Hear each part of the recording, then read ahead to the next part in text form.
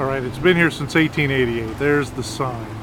So that's the history of it. So again, this is more for me than anybody else. God bless.